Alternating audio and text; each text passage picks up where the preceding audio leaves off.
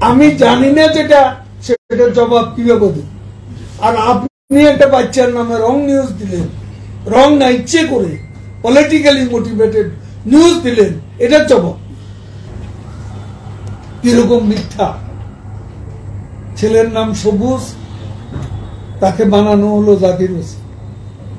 ছেলে স্কুলের ছাত্র, তাকে বানানো হলো দিন মজুর এটা কোন সাংবাদিকতা এটা একটা বাচ্চাকে নিয়ে খেলা রাজনীতির খেলা আপনি সংবাদপত্র কেন করতেন?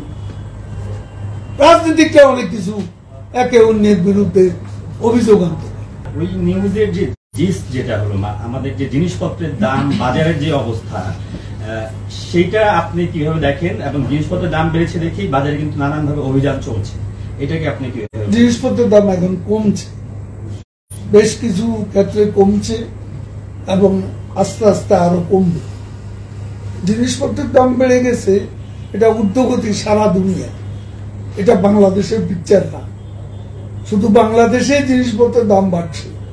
দাম বাড়ছে সারা দুনিয়া। কস্ট অফ লিভিং সারা দুনিয়া। আজকে দেখুন ফ্রান্সের কি অবস্থা, জার্মানিতে কি অবস্থা, ইংল্যান্ডে কি অবস্থা। এই প্রথম আলো যে ভুল করেছে কিংবা যদি আমরা অন্যায়ও বলি রাষ্ট্র কিংবা সরকারের তো সেটা আসলে বিহিত করার জন্য প্রেস কাউন্সিল অ্যাক্টের মাধ্যমে যাওয়ার সুযোগ আছে। সেই সাংবাদিককে মধ্যরাতে তুলে নিয়ে আসা আসলে কতটুকু আমি জানি না হয়েছে? তুলে নিয়ে তুলে নিয়ে যাওয়ার ব্যাপারে আমি কিছু জানি না। আমি এখন যদি তুলে আপনার- নেওয়া হয়ে থাকে আপনার এটা কি মন্তব্য থাকবে? যদি কোনো জবাব নেওয়া হয়েছে। মানে মাননীয় মন্ত্রী আপনাকে কনফার্ম করছি তুলে নিয়ে যাওয়া হয়েছে। আমি আপনার আমি আপনার থেকে শুনে আমি কেন বিশ্বাস করতেন না? বাংলাদেশেও কষ্ট আছে। বাস্তবতাকে অস্বীকার তো আমরা করছি না। কিন্তু জিনিসপত্রের দাম এখন কয়েকটা দাম কমেছে এবং আরও কমবে।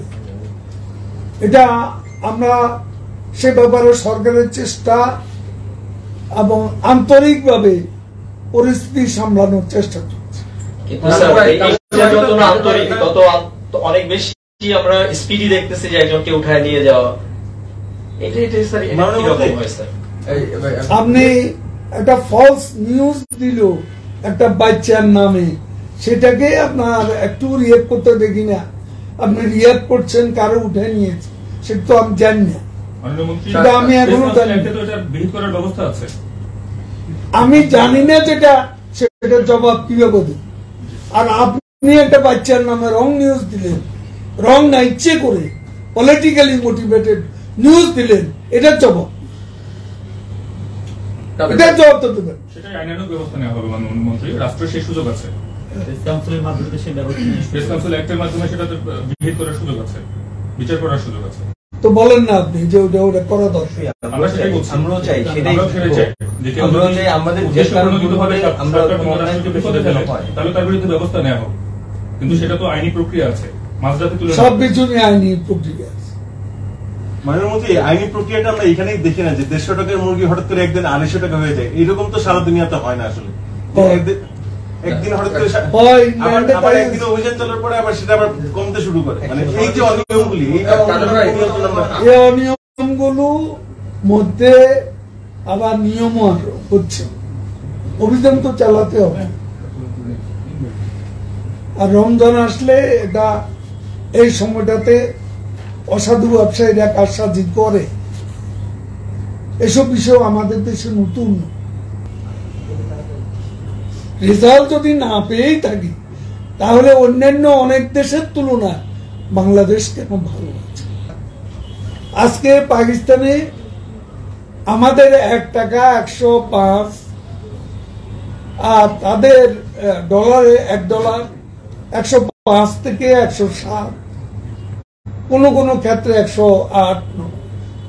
কিন্তু পাকিস্তানে আজকে দুশো চুরাশি রুপি সমান এক ডলার।